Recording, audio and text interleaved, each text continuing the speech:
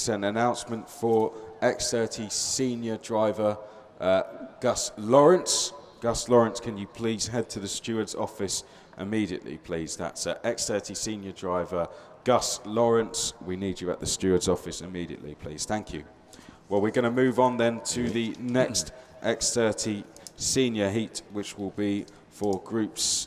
Uh, what groups have we not completed yet? This is the uh, last of our eight groups, groups A and F. And we're having a, a look at the drivers now, starting on the inside row. Reese Viverette is going to be going off uh, pole position. Looking at the points earlier, Reese Viverette currently 40 seconds. Now, it's not uh, impossible that he can't still make a automatic A final place. He can because he's going off pole position in both of it in the rest of his final heats today. So uh, Reese Viverette looking for some good results. Likewise, uh, Jeffrey Baldo is going along pretty well. He's 10th in the standings so far today. So Jeffrey Baldo starting to the outside of the front row.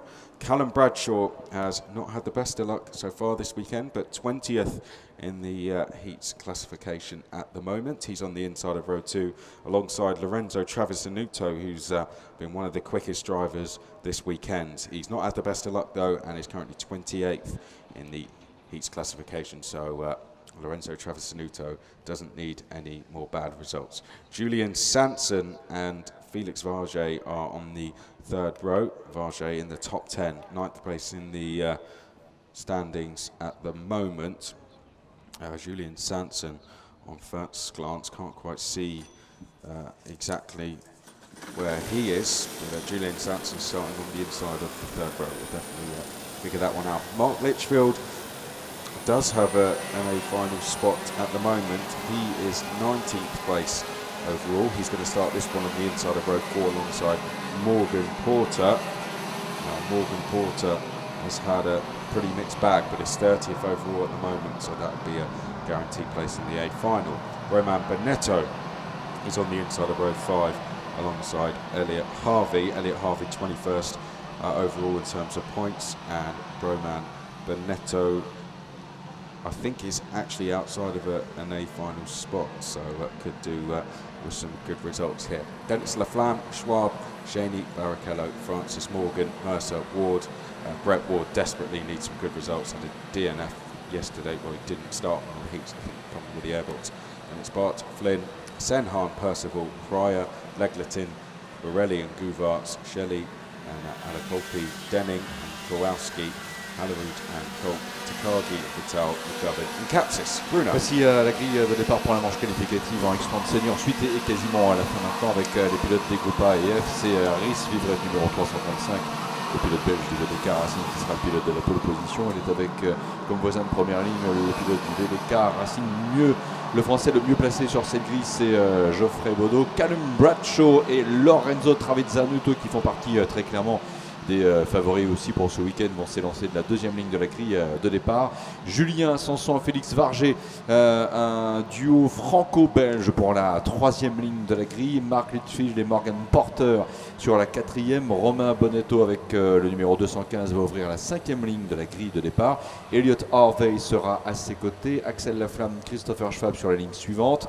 Christopher Chani et Nour Barrichello vont s'élancer depuis la septième ligne. On retrouvera ensuite eh bien, euh, Justin Francis, pilote australien, et Derek Morgan, numéro 388 sur la 8 ligne. Adam Mercer sera sur la 9 avec Brett Ward. Nicolas Baert pour la Belgique, numéro 258 en 10 ligne de grille de départ devant Jamie Flynn. Euh, les autres pilotes de la délégation France, Antoine Perceval en particulier, s'élancera numéro 257 depuis la 11e ligne de, de grille. Charlotte Morelli également avec le numéro 316 depuis la 13e ligne de cette euh, même grille de, départ avec Ian Gouvert qui sera son voisin. Etienne Shelley euh, à la Loupki, euh, numéro 362 en 14e ligne, font partie des pilotes. C'est à l'instant le départ qui est donné. Rhys Vivrette part bien. Oui, attention, hein, d'attaque par l'extérieur de Geoffrey Baudot, pas mal. Premier ou deuxième. Est-ce que c'est bien lui qui est effectivement parti ainsi? Ouais, me semble-t-il. Geoffrey Baudot en deuxième position. Rhys Vivrette, leader, Grace. Yes. Uh, by the way, on Julian Sanson, he's uh, currently 59th in the heats uh, classification overall. So fighting, I'd say, to get as high up the uh, order in the B final as he can at this stage. It'd be a, a good effort if he could make the A final. Brett Ward, for some reason, had to start from the pit lane. Not too sure why, but uh, Brett Ward has just not had any luck at all. Uh, Vivaret is leading. Bradshaw's about to take second place as we go down into the left-hander. There you go, the CRG driver going through, and Travisanutto is trying to get third place and is actually going to lose a place to Felix Varge. Felix mm. Varge now takes third place on the exit from Jeffrey Baldo, who is in fourth place. Then it's Travisanutto, Julian Sanson, as we said, needs good results today. Then it's uh, Barnetto. Oh, and a bit of contact there. Sanson's going to go past Travisanutto. Litchfield queued up behind. Then it's uh, Roman Bonetto, and behind Bonetto we have Christopher Shaney. Elliot Harvey is there as well. Elliot Harvey with a space in the A final at the moment, so uh, just could do with uh, two solid top 10 finishes, and he should be there. Elliot Harvey, as we uh, make our way down towards the hairpin, Litchfield in the middle of the screen there, just uh, trying to make places and uh, must hold off the challenges of uh, Roman Bonetto. Reese Vivaret pulling away out front, no Bruno. Good mm -hmm. Drive from the Belgian so far, and that's a change, isn't it, from uh, I think Julian Sanson making a place on Jeffrey Baldo. Let's uh, confirm as they come across the line. Is that Sanson now in fourth? Yes. yes. the screen refreshed eventually.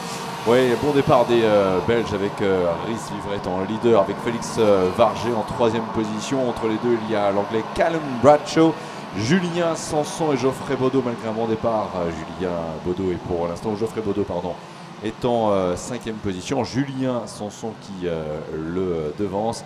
Marc Litchfield est à la sixième place. Lorenzo Travizzanuto, pour l'instant, on serait tenté de dire que septième en ce moment. Et évidemment, rien n'est joué encore. Ce que l'on aime bien suivre aussi ici, c'est le duel entre Callum Bradshaw euh, et, Félix Varger au bout de la ligne droite, mais le virage du Technopark est arrivé trop vite ici. Callum Bradshaw reste en euh, deuxième position. Attention, Chamaït avantage derrière. Marc Litchfield, Lorenzo Travisanuto, Christopher Chani, Romain Bonetto également dans le groupe qui va repasser aussi sur la ligne de chronométrage. Félix Varger, 55 euh, secondes 483 millième record du tour. Julien Sanson, Geoffrey Baudot sont toujours en 4 et 5e position. Yes, 24 hour. He was here, of course, um, two weeks ago with the CRG team, as was Lorenzo Travisanutto. That team as well. So they're both currently in the top five at the moment. They finished second at that event. Reese Vivaret, though, second in the Belgian Championship. A driver who uh, doesn't really race on a European stage, just races nationally.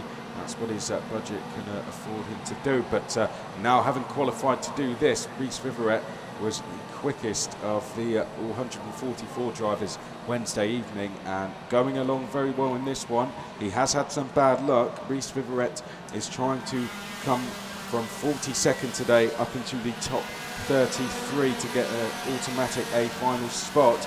And with results like this, he might just do it. But uh, Callum Bradshaw starting to apply the pressure in second place. Felix Varge is quickest on track in third. Julian Sanson desperately needs good results. There goes Bradshaw, takes the lead from Reese Vivaret. Felix Varge still there in third. Sanson does need good results in fourth place. Likewise, uh, Mark. Uh, Mark Litchfield, Lorenzo Travisanutto in fifth place, and then in sixth place we have Jeffrey Baldo with uh, Mark Litchfield sixth. Derek Morgan has just gone up to uh, seventh place. It seems uh, that must have been an instant somewhere. Oh yes, yes, at yes. the chicane au pif yes. paf. Oh là, oh, trois wow. pilotes. Trois pilotes qui sont partis en tête avec eux. Et juste dire que Callum Bradshaw, auteur d'un départ absolument génial, alors qu'à l'image, euh, ici on a le numéro 258, c'est Nicolas Abert, le pilote belge qui s'arrête euh, Callum Bradshaw était l'auteur d'un dépassement ultra spectaculaire après le virage le, 24. C'est lui qui est en tête devant Félix Varger à l'instant, Julien Sanson également qui est passé en troisième position devant euh, Rhys Vivret, Lorenzo Travizzanuto, le poleman des 24 heures karting et pour l'instant euh, à la cinquième place devant Geoffrey Baudot. Une très très belle manche qualificative pour les X30 seniors en groupe A et F. Callum Bradshaw est devant, Félix Varger en deuxième position et donc Julien Sanson à la lutte pour au moins la troisième place à l'arrivée. Nous sommes dans le sixième tour. Bradshaw, Barge, Sanson, Vivaret, Travis Anuto. Oh, and there, well, there's Travis Anuto goes past Reese Vivaret. Good move from the Italian. So just behind uh, Vivaret, who's uh, falling backwards in this one, is Jeffrey Baldo. Then it is uh, Mark Litchfield. Mark Litchfield uh, about one and a half seconds back from this lead group at the moment. Oh, and then, then it's Elliot Harvey who's actually just gone past Derek Morgan. Also going past Derek Morgan, I think, was Christopher Shaney. Et Juliette c'est- avec aussi Félix Varger, même s'il reste deuxième.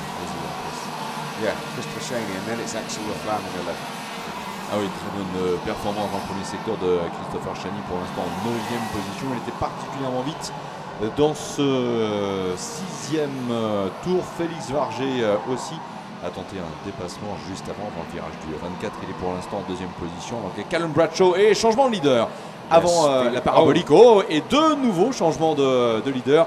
Callum Bradshaw à la sortie euh, de ce banking qui a repris la tête de la course. Est-ce que Julien Sanson va être en position d'attaque au freinage? Attention à Julien Sanson qui est aussi Oh, attaqué par Lorenzo Sanson. Travizzanuto qui va peut-être même réussir finalement à s'emparer de la troisième place. C'est l'Italien. On va le, le revoir, Chris, avec le passage sur la ligne de chronométrage. 1, Callum Bradshaw. 2, Félix euh, Varger. Et 3, Lorenzo Travizzanuto. Travizzanuto, pardon, devant Rhys Vivrette. Dommage, Julien Sanson perd deux places ici. Il est cinquième. So a lot happened on that lap, didn't it? Bradshaw, uh, well, tried the move on Bradshaw, then Bradshaw came straight back past in the same corner. Varjay now saying to Bradshaw, get on with it. Bradshaw wanting him to follow, but then defending.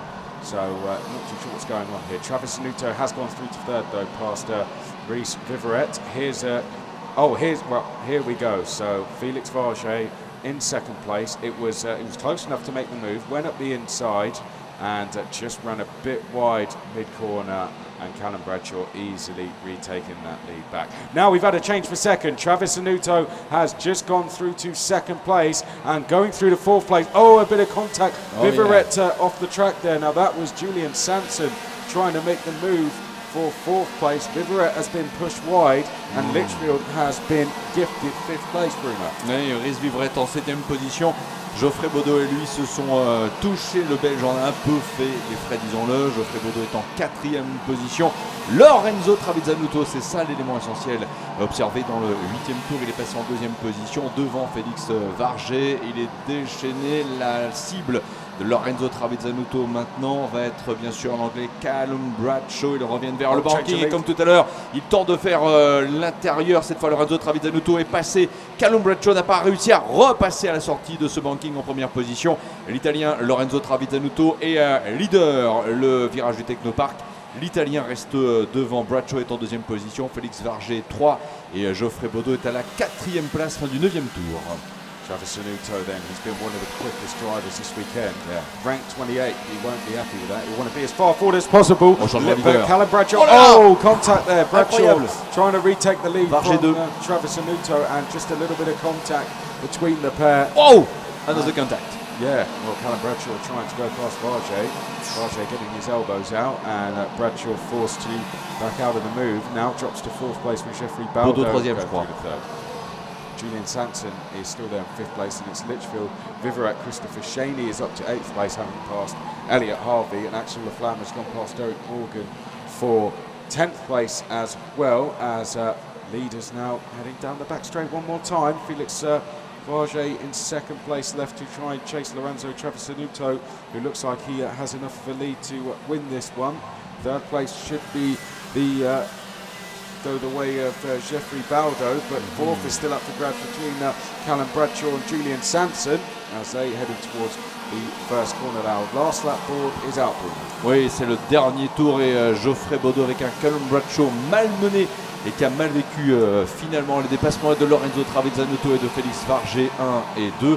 C'est euh, même fait euh, dépasser pour la troisième place par Geoffrey Baudot. Il est donc troisième. Callum Bradshaw est en quatrième position, légèrement détaché maintenant du trio Travizzanuto, Varger, Baudot, Julien Sanson à la lutte. Derrière euh, Callum Bradshaw en ce moment, Mark Litchfield est à la sixième place devant Rhys Vivrette, Christopher Chanier huitième, Elliot Harvey 9e et Axel Laflamme pour la dixième position. La ligne droite, trop d'écart entre les pilotes. Au moins du euh, trio de tête pour euh, qu'il y ait un dépassement sauf erreur de pilotage, mais ce ne sera pas le cas avant euh, le franchissement de la ligne d'arrivée. En vue maintenant pour Lorenzo Travizzanuto, le pilote des 24 heures karting en pôle il y a deux semaines, s'impose ici. Félix Varger termine 2, Geoffrey Baudot 3, Callum Bradshaw 4, Julien Sanson en cinquième position. Donc Mark Litchfield pour la sixième place, Rhys Vivrette pour la septième, Christopher Charney, Elliot Harvey, Axel Laflamme pour le top 10.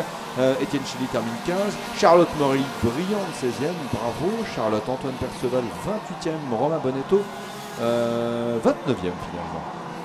Perfect race that for Lorenzo Travisanuto. Great overtakes, brilliant pace as well. And Lorenzo Travisanuto will be moving up from 28th in the classification He's ranking after that one. Second place went the way of Felix Varge. He'll be moving forward from ninth place after that. Jeffrey Baldo was in third place. He's 10th overall at the moment. And that a good result from the French driver. Callum Bradshaw, fourth place for him. Julian Sanson, a much needed good result uh, for him in fifth place. And it was Mark Litchfield sixth. Reese Viverette and Mayfair a bit disappointed with seven as he is uh, fighting for an A final space. Then it was Christopher Shaney in eighth, Elliot Harvey ninth, Axel Laflamme is 36th at the moment, and that's his second best result of the weekend in 10th place, so I think he'll be pretty happy with that. Derek Morgan was 11th, then it was Mercer, Porter, Francis, and Shaley. That's how close the lead pack was. Travis and Nuto uh, leading the way, a couple of incidents breaking it up, but uh, you can see in the background there we had the likes of Shaney, Harvey, Laflamme, all catching the uh, fourth place battle with that, that all going off. Behind uh, Shaley, we had Morelli, Guvarts, Lacolpi. Brett Ward did good from the pit lane to finish 19th, and it was Noel Barrichello in 20th, and it was Halerud, Senham, Kolk, Denning, Legletin, McGovern, Kowalski, Percival, Benetto, Takagi rounded out the top 30, Bruno. Oui, avec euh, Lorenzo Travisanuto, rappelons-le encore une fois, vainqueur ici. Nous avions donné le détail du euh, top 10 et euh, donné également quelques-unes des places pour les euh, pilotes qui euh, suivaient dans ce classement, en tout cas pour la délégation France. Derek Morgan termine à la 11e place, Adam Mercer à la 12, Morgan Porter à la 13e place, Justin Francis 14e et Etienne Shelley 15e.